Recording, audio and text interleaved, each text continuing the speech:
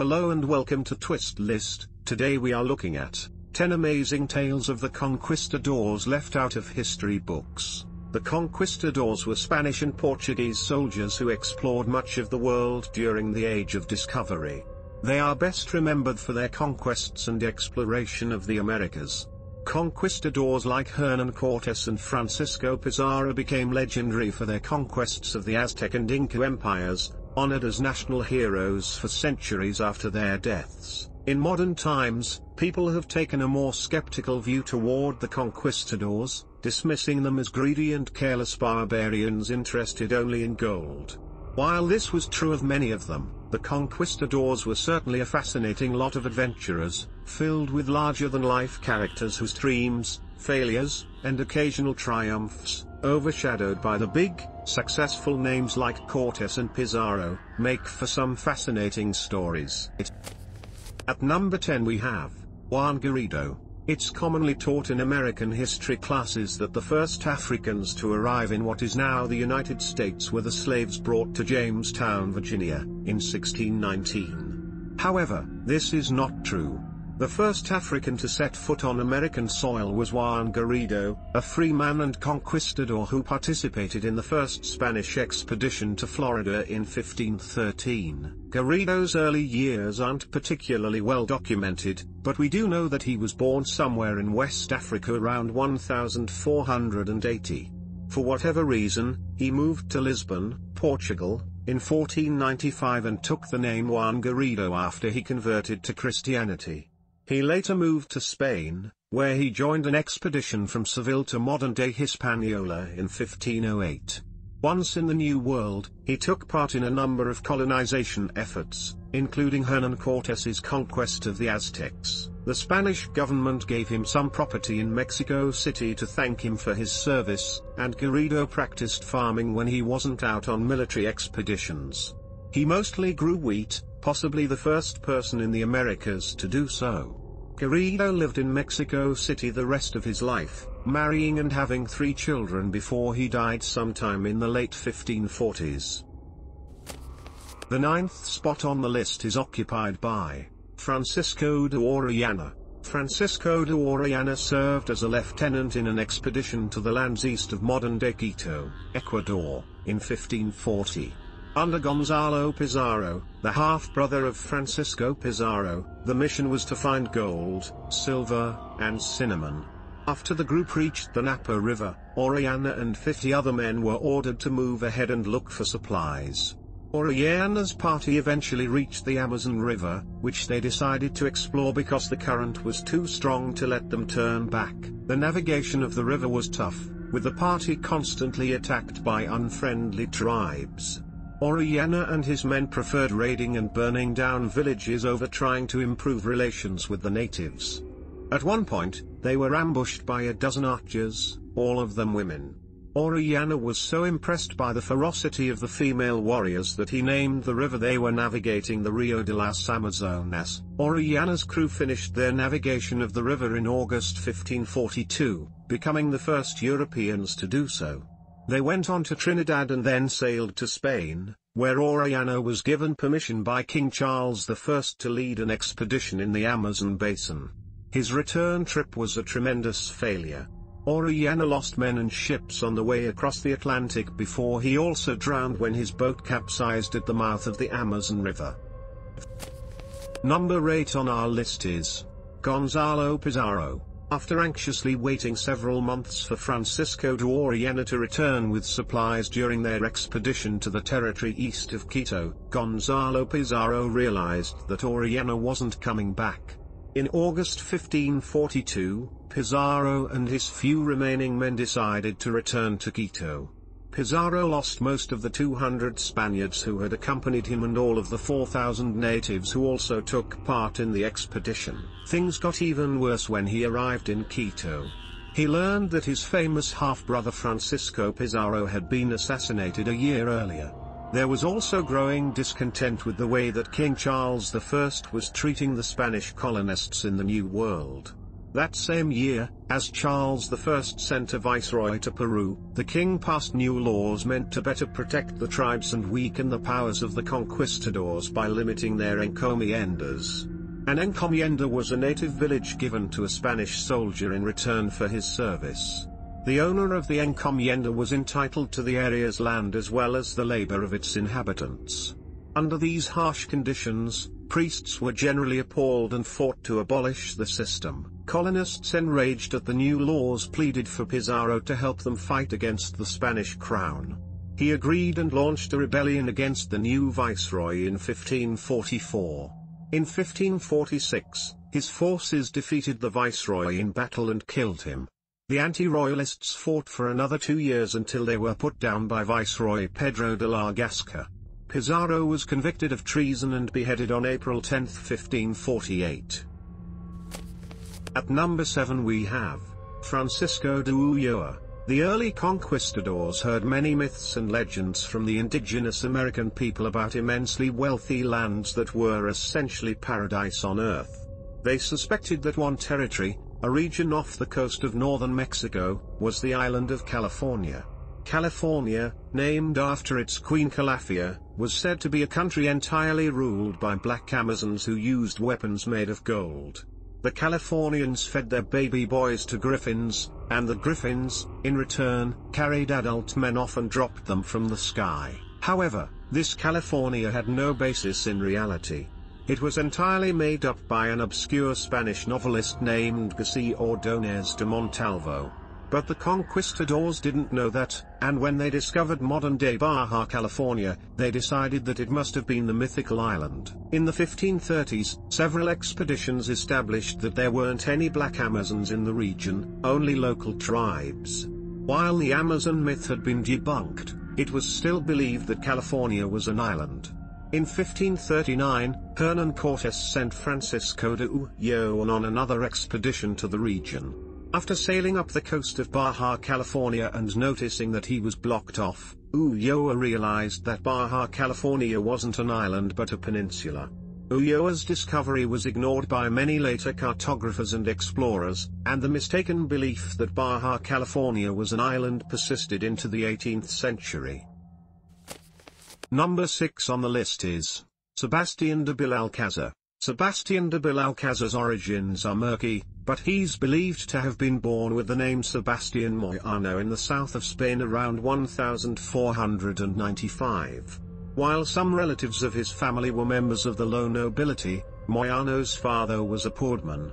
Sebastian would run errands for his father, normally going around his town of Belalcázar and selling wood carried by a donkey companion.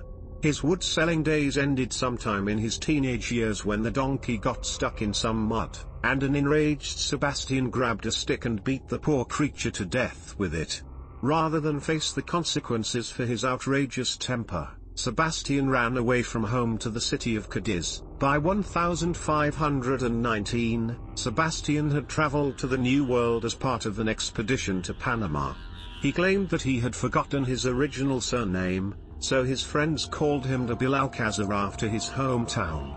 Throughout the 1520s and 1530s, Sebastian participated in a number of conquests, serving in missions to modern-day Ecuador, Nicaragua, and Peru. Although he became a celebrated leader, he was also infamous for his brutality. During his conquest of Quito in 1534, Sebastian and his soldiers stumbled upon a village where all the men were away fighting. Even though the remaining villagers were only harmless women and children, Sebastian ordered that they all be killed as a warning. In 1541, he gave up his life of adventure and became the governor of the province of Popayan. He was a terrible administrator and failed to settle land disputes between other Spaniards. After he executed another Spanish governor, Jorge Robledo, Sebastian was arrested and sentenced to death. Sebastian planned to appeal his sentence to the Spanish government but died before he could make it back to Spain. The fifth spot on the list is occupied by Maria de Estrada. Although nearly all of the conquistadors were men, there were a few women who participated in the conquests. Maria de Estrada, who was nicknamed the Great Lady, was probably the first white woman to set foot in the Americas. Estrada and her husband, Pedro Sanchez Farfan, spent time in Hispaniola and Cuba before investing and enlisting in Hernan Cortes's expedition to Mexico in 1519. Estrada was a full-fledged soldier, unwilling to receive special treatment because she was a woman. She participated in every battle and is believed to have been quite skilled with the sword.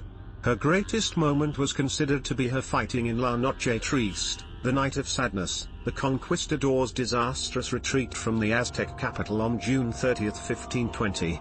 After the conquest of the Aztecs in 1521, Cortes rewarded Estrada for her brave service with two towns in Morelos. Aside from Estrada, there were some other Spanish women who accompanied the conquistadors.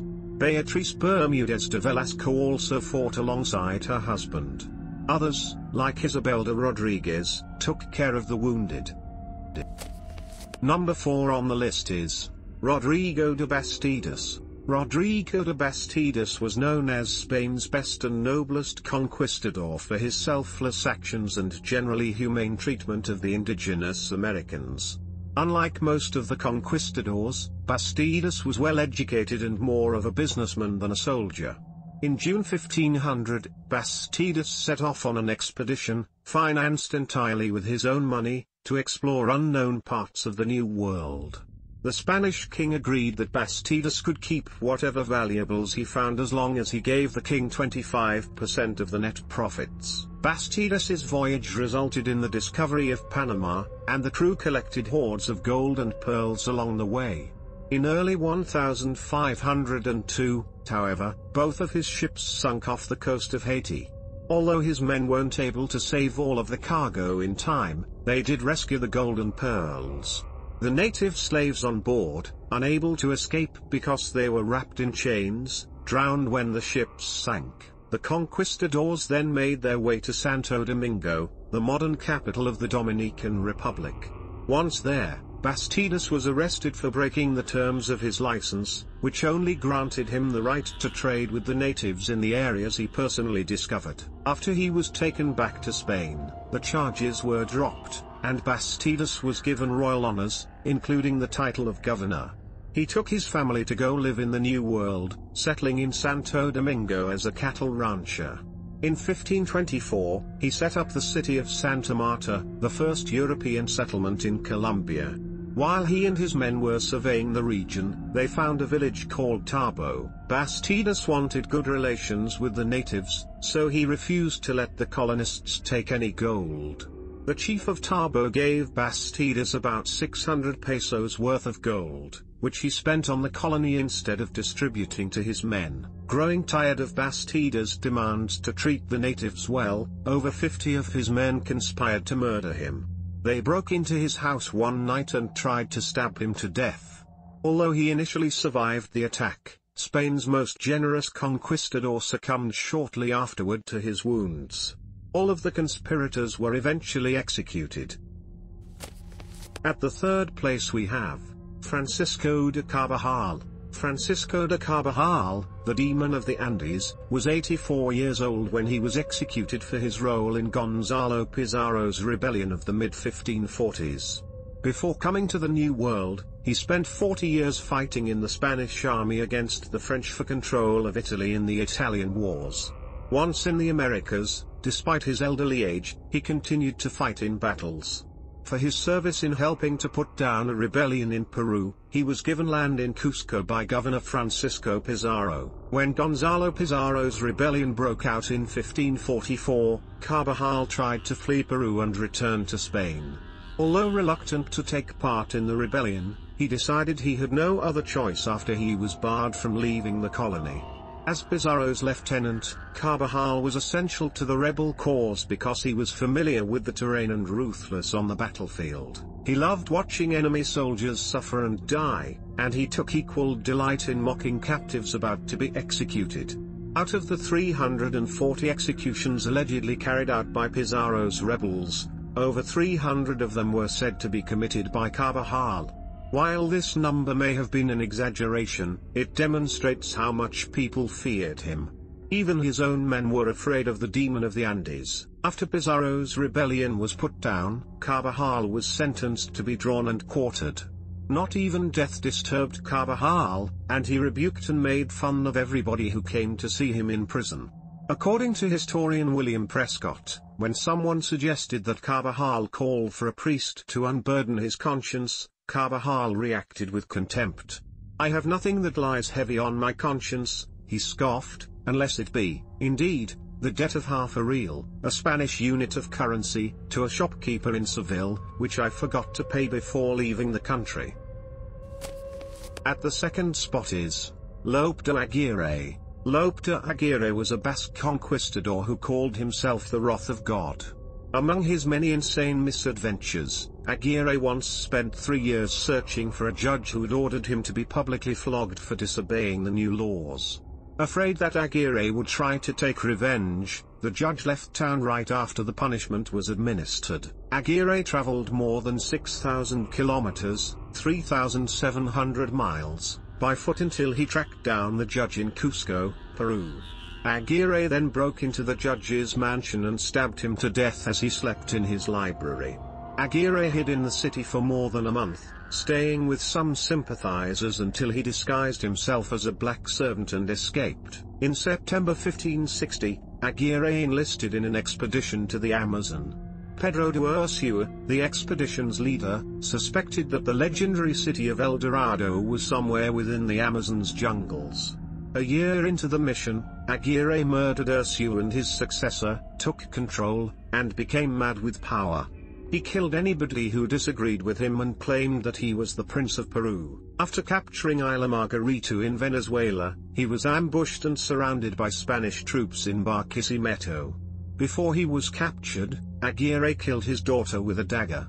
I am about to kill thee, he announced to her, that thou mayest not be pointed at with scorn nor be in the power of anyone who may call thee the daughter of a traitor. The wrath of God was executed on October 27, 1561, having been shot and then dismembered.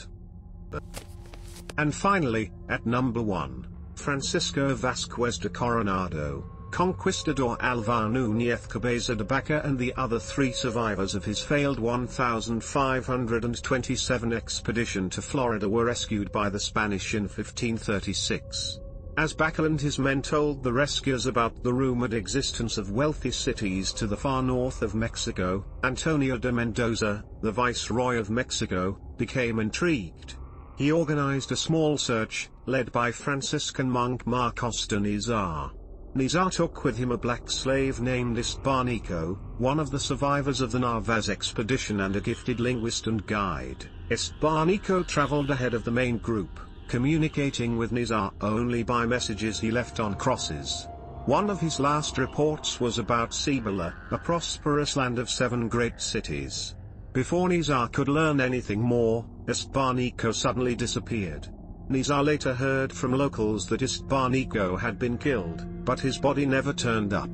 Feeling that he was close to discovering the cities, Niza continued on and was stunned to find a very beautiful city. On a level stretch on the brow of a roundish hill. Still far away, Niza was too afraid to actually walk into the city. Yet he was confident that this was Cibola and happily returned to Mexico to report what he had found. Together, Mendoza and his friend Francisco Vasquez de Coronado, a notable soldier and governor, agreed to fund a large expedition to Cibola. In February 1540, along with Marco de Niza, Coronado led a party of 300 Spaniards and 1,000 natives on a four-month trip to reach the spot where Niza had claimed to see Cibola. After a battle with the inhabitants, Coronado learned that the town was actually Hawikuh, a poor Pueblo community of Zuni tribesmen. Outraged, the conquistadors forced Niza out of the expedition. He had to walk back to Mexico by himself. Rather than return empty-handed, Coronado tried to find Quivira, another legendary, wealthy land in what is now modern-day Kansas. Although Coronado and his men only found another poor village, they did become the first Europeans to see the Grand Canyon and the Colorado River. With the expedition an evident failure, they returned to Mexico in 1542. The failed expedition bankrupted Mendoza, Coronado, and other investors. With his reputation destroyed, Coronado was forced to resign from his governorship. Thanks for watching. If you enjoyed this video and would like to see more then please hit the subscribe button.